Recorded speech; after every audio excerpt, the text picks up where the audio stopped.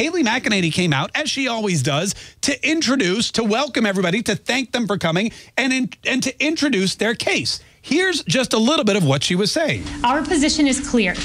We want to protect the franchise of the American people. We want an honest, accurate, lawful count. We want maximum sunlight. We want maximum transparency. We want every legal vote to be counted, and we want every illegal vote to be discarded. Unlike our opponents, we have nothing to hide. Okay, she all she said was we want every legal vote to be counted and every illegal vote to be discarded. She didn't say anything about voter fraud. This was the very beginning. And Neil Cavuto, who is on Fox News live while they're airing this press conference, cuts her off. He, he breaks in and he tells them to take the feed off the air. Legal vote. Whoa, whoa, whoa. I, I, just think we have to be very clear. She's charging, uh, the other side is welcoming fraud and welcoming illegal voting. Unless she has more details to back that up, I can't in good countenance continue showing you this. I want to make sure that maybe they do have something to back that up. But that's an explosive charge to make that the other side is effectively rigging and cheating. Okay, so, so, Neil Cavuto cuts out of Kayleigh McEnany's press conference because her because of her explosive charge that the other side is rigging and cheating an election.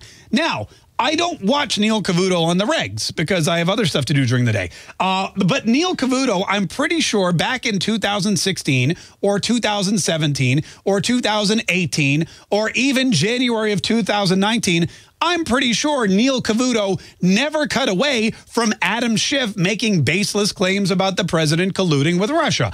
I'm pretty sure Neil Cavuto never cut away from Jerry Nadler making baseless false claims about Donald Trump uh, and, and the Ukraine. I'm pretty sure they never cut away from Nancy Pelosi saying Donald Trump is not the president and I pray for him and he's done these atrocities. They didn't even cut away from Chuck Schumer when he threatened the lives of two Supreme Court justices. Did Neil Cavuto ever pull away from the impeachment inquiry hearing when Adam Schiff literally was making up the verbiage of the phone call, just making up. The actual phone call wasn't incriminating at all. So what did Adam Schiff do? Man, he just started doing some, just started doing some ad libbing. Just went back to his old drama club days from high school. And trust me, Adam Schiff was in the drama club. And Neil Cavuto never pulled away from any of it. But with Kayleigh McEnany and Donald Trump, who are mounting a legal defense of the election. They're in court and they are presenting evidence to the court, a legal disagreement.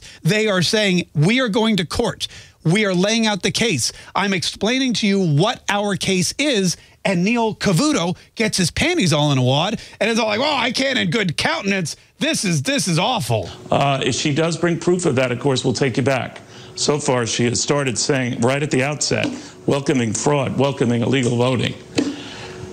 Not so fast. A little more after this. Not so fast. Not so. Listen, listen. Uh, if she brings proof, then maybe we'll cut back into it. Although Nancy Pelosi never had proof, and Chuck Schumer never had proof, and Adam Schiff never had proof, and Jerry Nadler never had proof. And for three years, they never had proof, but Neil Cavuto was right there reporting on it, right there letting them speak. Did he ever say, whoa, whoa, not so fast? Nancy Pelosi, not so fast. The president did not collude with the Ukraine. Bring me the proof. Wait a minute, Nancy Pelosi. They even actually had proof that he didn't. Remember the Mueller report? The Mueller report came out and said there was no collusion. There was no obstruction.